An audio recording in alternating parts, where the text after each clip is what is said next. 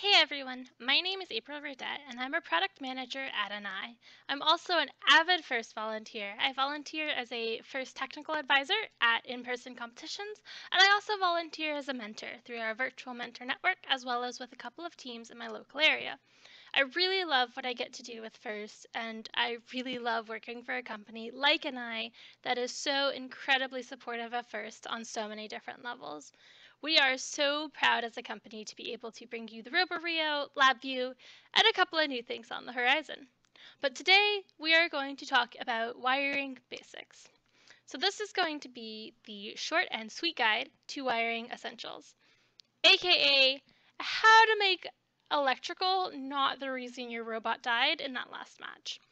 As an FTA, our core job function is to get every team to every match every time and make sure that y'all get to play the matches that you've worked so hard to prepare for. And one of the biggest issues we see are teams that have easy to fix wiring problems that really have an impact on the field. So through this presentation, I hope that you can come away with some tips and tricks to get your robot ready to play for the next time we get to have in-person competitions and help you get the most out of your first experience. So we're going to talk about two quick things today. We're going to talk about how do you plan to succeed, uh, because planning is so important on an FRC team, and then we're going to talk about wiring basics. Planning to succeed is really, really important because it sets you up to have the best opportunity to do the best you can. And so my, my first recommendation here is that you communicate with the rest of your team around all aspects of the robot. And really, in this sense, that involves talking to your mechanical subteam or the students working on mechanical design and ensuring that there is good placement for the key electrical components in your robot system. Making sure that you leave room for these components will pay off dividends once you get to actually putting your robot together and wiring it up. Those key components are your RoboRio, your robot radio, power distribution panel and the voltage regulator module, the battery, the on-off switch, and that robot status light that everyone loves so much. Um, making sure that you've got room for these six components will make sure that your robot is easy to put together. I know electrical sometimes gets uh, slated further down the line than mechanical assembly. Um, and just setting yourselves up to have places to put these, have mounts to attach these to, will really do you well when you start to put the whole thing together. The second recommendation I'm going to make is that you really read the robot rules and the inspection checklist when it comes to wiring. The key point here is making sure that you're using the correct gauge wire for the motor, the battery, the components that you are wiring to. It is painful to have to change the gauge of your wire at competition, and double checking this will help ensure that you don't have to do that day of inspection. The third recommendation I'm going to make is something that an FRC team I used to mentor used to say, and that was do it right or do it twice. And this really comes into play in the electrical space with crimps, with making Weidmuller connections, putting together power poles, making sure that you're connecting the right wires to each other. Um, it can take a long time to try to debug what in your CAN network is connected backwards.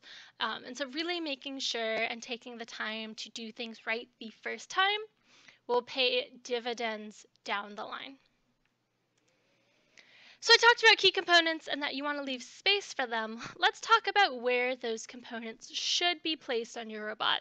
Now this is my recommendation. You are obviously free to design your own robot, but maybe keep this in the back of your mind when you're doing those layouts.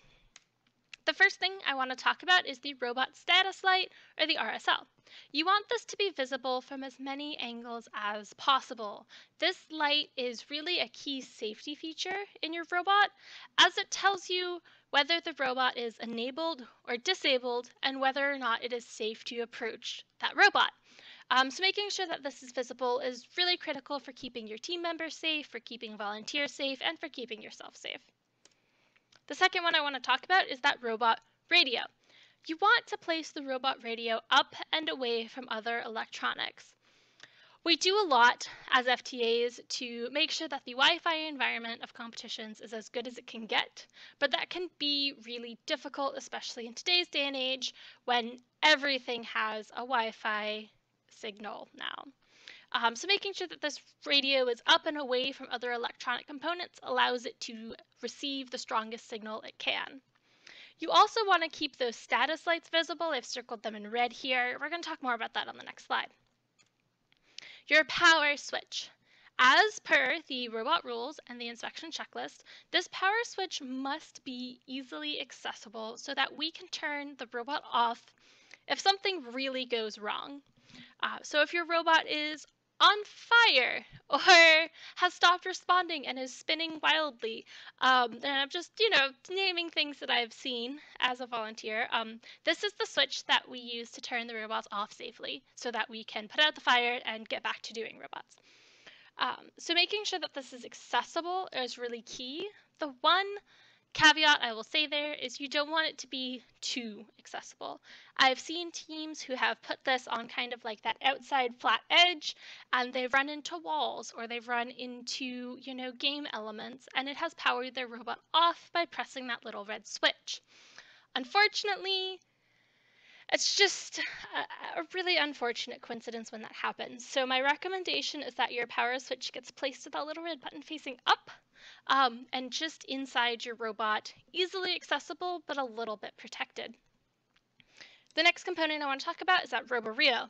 Your RoboRio is going to end up being pretty central to your robot. It's going to have different wires coming off of it depending on what communication bus you use to do motor comms and things like that. But you want it to be protected. Um, while the RoboRio is pretty durable, I've seen some that have been through some experiences, you do want to try to protect it from impact as much as possible. Um, again, being able to see those status lights is really useful, so don't put it upside down underneath your robot is a difficult location um, and things like that. The other two components, your battery. Please make sure you make a place to put it because they are large and heavy and you want to Think about that in regards to your robot center of mass before rather than after. The other thing I'll say about batteries is it will go a long way for you if you make your battery easy to change. Um, the time between matches, especially as you get into quarters, semis, and finals, gets really, really short, especially if you're trying to fix other things. So making that battery swappable very quickly will really pay off down the line. The PDP and the VRM can really go wherever it makes sense for your robot layout. You shouldn't need to access those too much, and as long as all your fuses are in your PDP, you should be good to go. A very quick aside on status lights.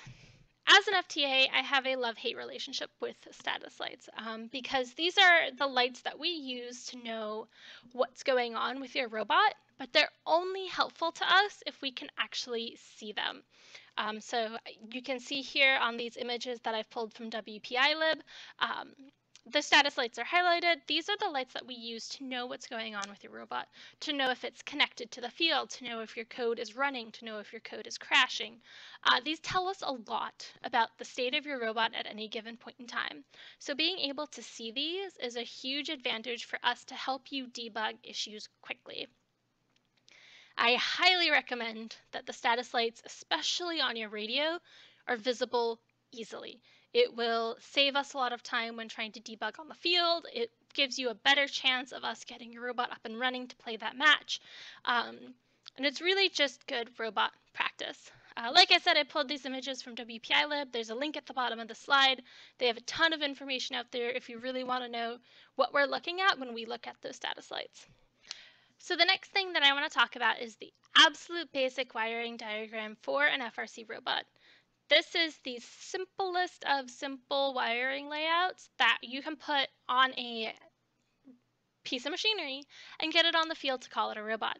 Uh, so we're going to start with the battery. Uh, pretty basic. The key thing to remember about batteries is that you don't want those wires that are connected to the terminals on the battery themselves to be loose. If those have any sort of wiggle to them, that's a potential spot for a power reset. So really make sure those are really, really solid. From there, that's going to be connected to your 120 amp breaker. This is a really important piece of the safety system as it prevents your robot from getting way too hot. Your motors will heat up, but this prevents it from getting way too hot.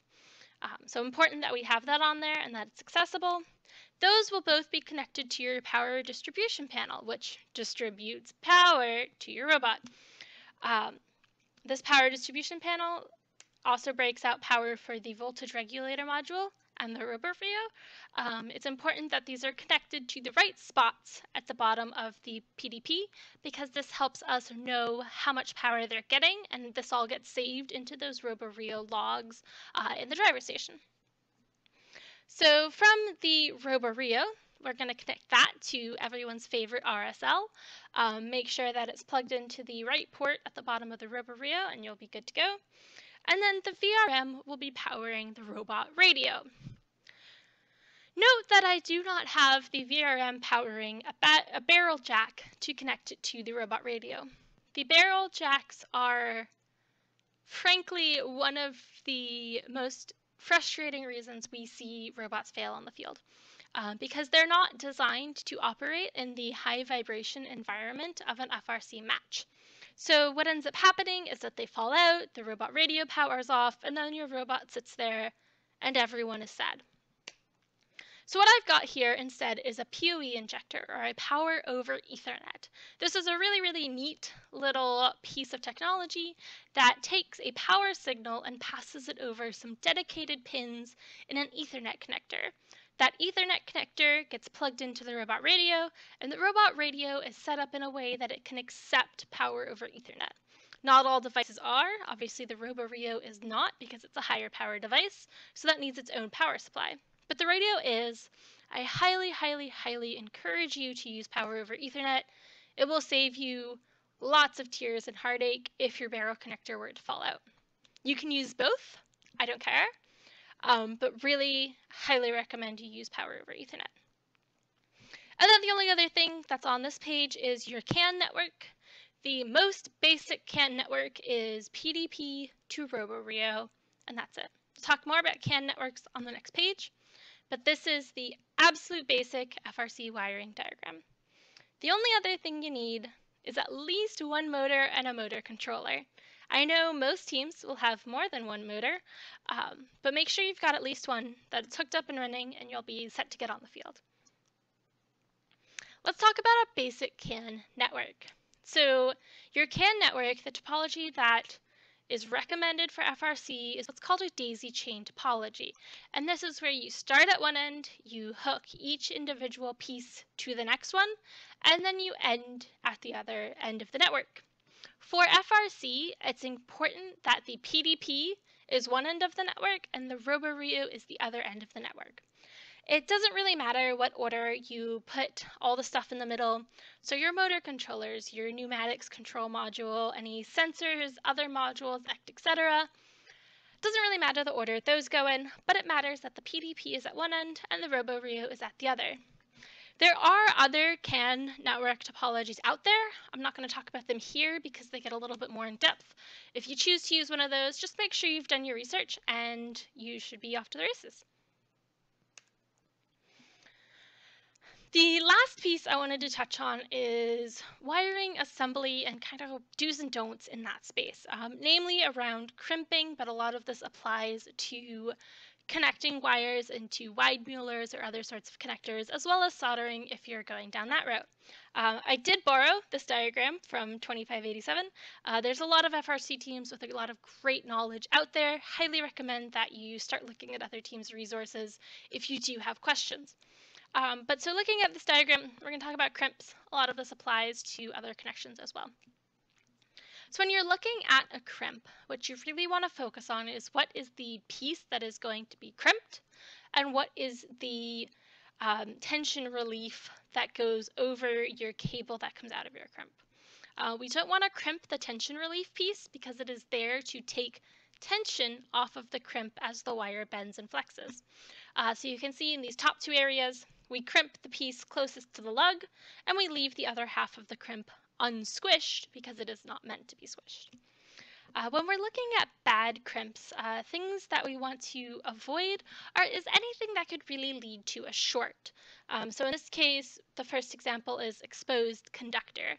And this is any metal that is visible between the jacket on the wire and the protective plastic on the crimp itself. Uh, anything that's exposed could have potential metal flakes um, as you're drilling or working on your robot fall into it, and that could lead to a short, which can always lead to weird behavior when you start getting shorts in a network. Similarly, we don't want strands sticking out of the back of a lug. Again, this is an opportunity for shorts, um, as well as they tend to be pokey and you don't want to hurt yourself. Other examples of kind of not great things with crimps is when your conductor is too short or the crimp is misaligned. Crimps work by wrapping around the conductor, which is the strands of wire in your cable, um, and really squishing them in to make a solid connection. If there's anything that's preventing that connection from being really set and solid, it opens up the opportunity for that wire to get pulled out of the crimp and then you'll have a, a, disconnection even though you used a crimp and theoretically you shouldn't have any disconnections with a crimp. Um, so really keep in these things in mind when you're putting together your wiring system. Make sure that you're not leaving any exposed conductor anywhere, um, that you don't have any strands sticking out of the back of a connection, or anything that looks loose or a potential point of failure. Obviously, repairs get done quickly in FRC. I know this, I've seen them happen. Um, I'm continuously impressed with how quickly FRC teams are able to make major repairs on a robot in that six minute timeout between matches. Um, but make sure that if you are doing things quickly, you put a little bit of electrical tape around it, protect yourself and your teammates and your robot from any potential shorts. And that's really it. That is the super quick, super easy basics of FRC wiring. Um, I hope y'all have gotten something out of this presentation. Uh, if you do have further questions, I highly recommend you check out ni.com slash FRC. Uh, if you scroll to the bottom of that page, there's a link that will take you to our forums. Uh, we have NI engineers monitoring those forums, ready to ask, uh, help you with any of your questions around hardware or LabVIEW or RoboRio or things in general. Um, happy to help out. I'll be on there, a whole bunch of my colleagues are on there, and we would love to help get you sorted out for this season. Um, thanks so much for tuning in, and I hope everyone has a great season and good luck.